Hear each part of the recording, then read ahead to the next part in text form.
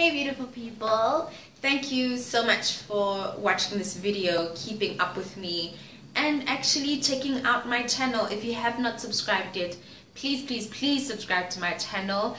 Check out my blog, Kopano the blog, and find out what this is all about and what's about to happen because you definitely do want to follow this and see the journey, follow the journey, and definitely join the challenge.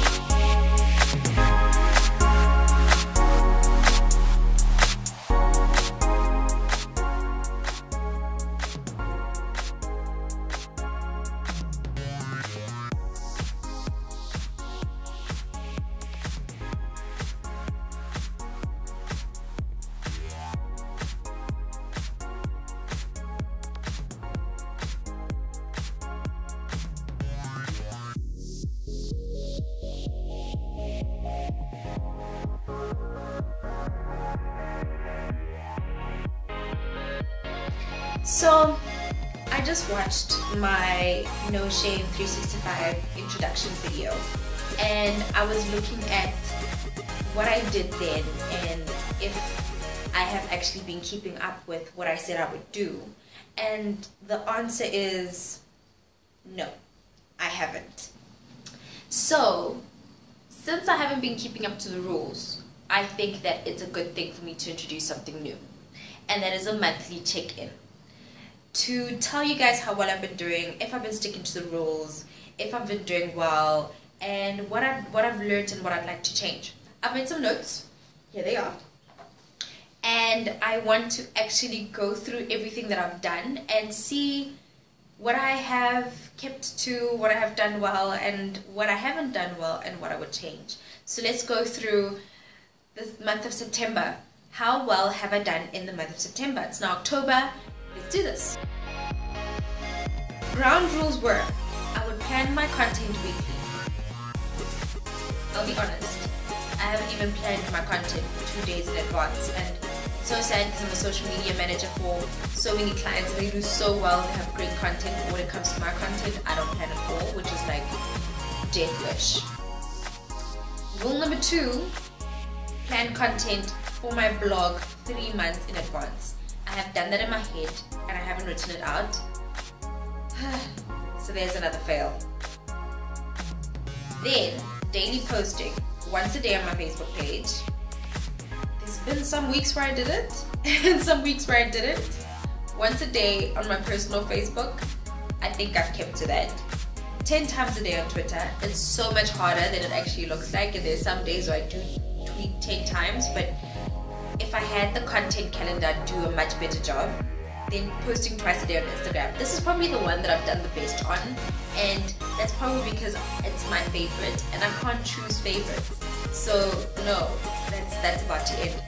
And then two new blog posts weekly. I've actually done that. I've actually done that, and that makes me so happy. I've actually kept to that one.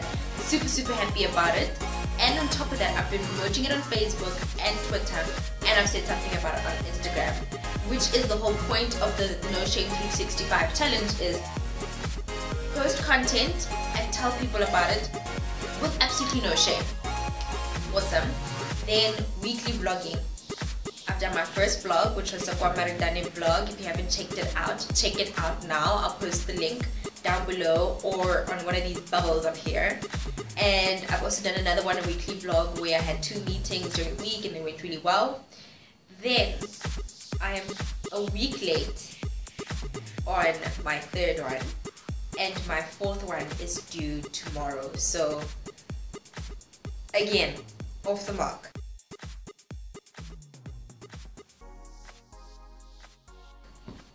So I had said in the introduction that I would give you guys downloadables.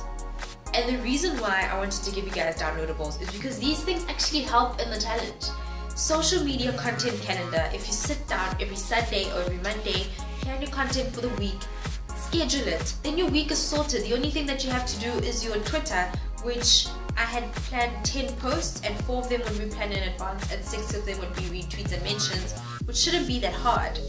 Then blog workflow and content plan. If I had stuck to the plan and done it weekly, I would still have done it three months in advance, then I would have my content on time. But because I had already written the content, it made it easier.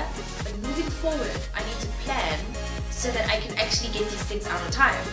Then the measuring scorecard. This is something that I actually came up with now because I was thinking to myself, if I'm actually going to do well, I need to measure what I'm doing.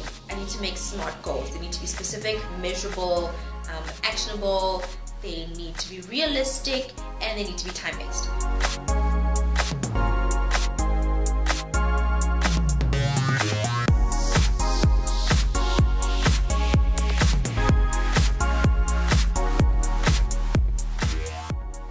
creating the scorecard and keeping up with the scorecard and then checking in with you guys every month will help me to stick to the rules because I'm accountable to you guys. I'm telling you guys about the challenge and I'm keeping you guys updated with how well I'm doing on the challenge so that I can continue to do my best and I can be accountable for what I'm doing. Um, if you guys join the challenge, sign up for the challenge, get all the resources that you need, then you will be accountable with the rest of everybody else who's joined and accountable to me too. Because I will check up on you guys. Honey, I will check up on you guys, okay? I want radical change in a year. I want to face my fears in a year. I want to conquer self-promotion and take the shame out of it. Selflessly promote myself for a year, come out on top of the game by the end of the year, having changed my perception and other people's perceptions of how things should be done, and schooling people on how social media and the digital world can change your life if you take it seriously. Let's continue to do a good job. Let's let's up our game I'm taking this seriously because I'm not I'm not gonna get to the end of this 365 days and not have progressed that much. So I hope that you guys continue to stick with the journey. Go get the downloadables, sign up for the challenge, and let's be stars at the end of these 365 days. Hashtag no shame 365. I'll check in with you guys later.